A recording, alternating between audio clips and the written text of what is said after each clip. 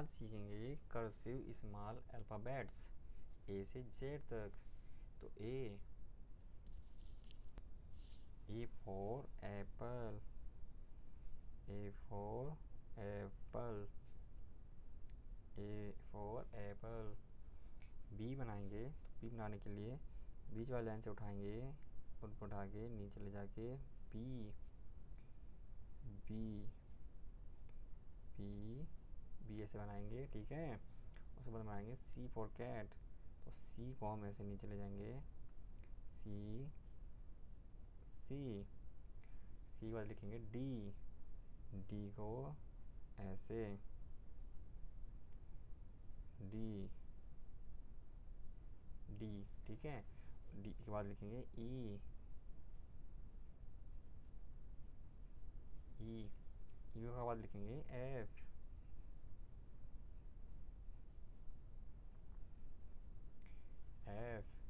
F F के बाद लिखेंगे जी जी नीचे ले जाके वापसी जी ठीक है? जी बाद लिखेंगे एच एच एच एच के बाद लिखेंगे आई आई आई फॉर आइसक्रीम आई के बाद लिखेंगे जे जे जे के बाद लिखेंगे के के फॉर काइट, के के फॉर काइट, के बाद लिखेंगे L L for lion, L for lion, L for lion, L के लिखेंगे M. M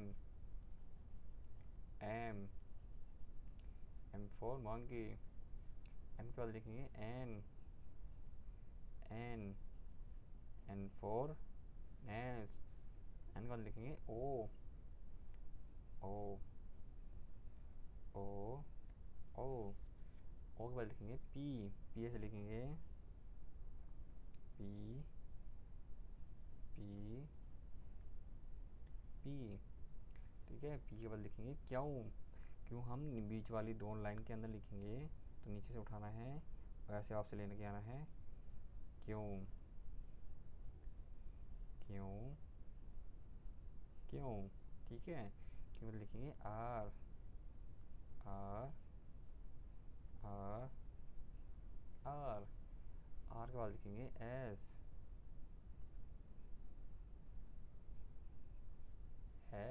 एस के बाद लिखेंगे टी टी टी ठीक है?